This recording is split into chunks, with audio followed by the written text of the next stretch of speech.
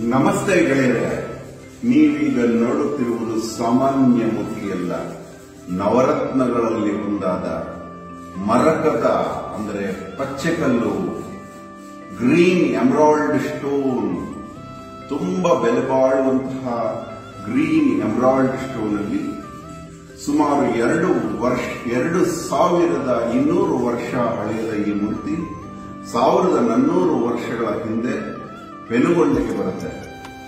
ಈ ಮೂರ್ತಿ ಇದುವರೆಗೂ ಎಲ್ಲೂ ದೋಷವಿಲ್ಲ. ಆದರೆ ಆ ಏಳು ಎಡೆಯ ಸರ್ಪದಲ್ಲಿ ಒಂದು ಸರ್ಪಕ್ಕೆ ನಾಲಿಗೆ ಮಾತ್ರ ಬದಲಾಗಿದೆ. ಇದು ಅಷ್ಟು ಶುದ್ಧವಾದ, ಅಷ್ಟು ಕಲಾತ್ಮಕವಾದ ಮೂರ್ತಿ.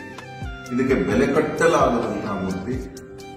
ಇದು ಇರುವುದು ಬೆನುಗುಂಡೆಯಲ್ಲಿ ಕೃಷ್ಣದೇವರಾಯನ ಒಂದು ರಾಜ್ಯಭಾರ ನಡೀತಾ ಇತ್ತು. ಬೇಸಿಗೆಯ ರಾಜಧಾನಿಯಾಗಿತ್ತು. ಇಲ್ಲಿ ತುಂಬಾ ಜೈನರು, ಬೌದ್ಧರು, ಎಲ್ಲ ಚತುಸ್ಸಮಯಾರಾಧಕರು ಈ ಊರಲ್ಲಿದ್ದರು. ಸುಭದ್ರವಾದ ರಕ್ಷಣೆಯಲ್ಲಿದ್ದ ಊರಲ್ಲಿ ಬಂದು ಈ ಮೂರ್ತಿನ ಸ್ಥಾಪಿಸ್ತಾರೆ.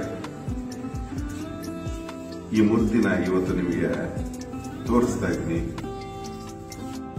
ನಮ್ಮ ಕರ್ನಾಟಕದ ಹಂಪ ನಾಗರಾಜಯ್ಯನವರು ಈ ದೇವಸ್ಥಾನದ ಬಗ್ಗೆ ತುಂಬಾ ಇತಿಹಾಸ ರಚನೆ ಮಾಡಿದ್ದಾರೆ.